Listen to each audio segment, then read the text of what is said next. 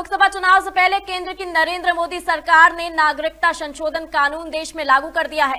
CA लागू होने के बाद उत्तर प्रदेश में सुरक्षा की चाक चौबंद व्यवस्था की गई है। पुलिस मुख्यालय की तरफ़ से जिलों को अलर्ट पर रहने का निर्देश जारी हुआ है। डीजीपी प्रशांत कुमार ने कहा कि प्रदेश में सुरक्षा तकड़ी है। सीए की अधिसूचना जारी होने के बाद सभी संवेदनशील और अति संवेदनशील जिलों में अतिरिक्त पुलिस बलों की तैनाती की गई है। सोशल मीडिया के ज़रिए माहौल बिगाड़ने वालों पर कार्रवाई की जाएगी। सीए को लेके ये संभावना व्यक्त की जा रही थी इसको जल्दी सरकार लागू करेगी। इसको लेके हम लोगों ने अवृहत तैयारियाँ की थी पहले से। और हमारे जितने भी फ़ील्ड के अधिकारी हैं उनको इस संबंध में सेंसिटाइज कर दिया गया था और उनकी लगातार सभी स्टेक होल्डर्स, जैसे धार्मिक नेता हैं, पीस कमेटी के मेंबर्स हैं, डिजिटल वॉल्टियर्स हैं, और सिविल डिफेंस के लोग हैं, उनके साथ लगातार वार्ता चल रही थी।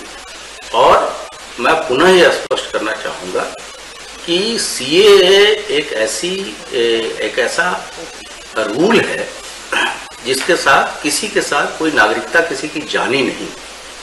एक इनेबलिंग प्रोविज़न है जिससे कि किसी को नागरिकता दी जाएगी। और वो ऐसे लोगों की जो हमारे पड़ोसी देशों से, धार्मिक कारणों से परेशान होकर यहाँ आए। उनकी संख्या भी बहुत कम है और इसका व्यापक असर भी दिख रहा है।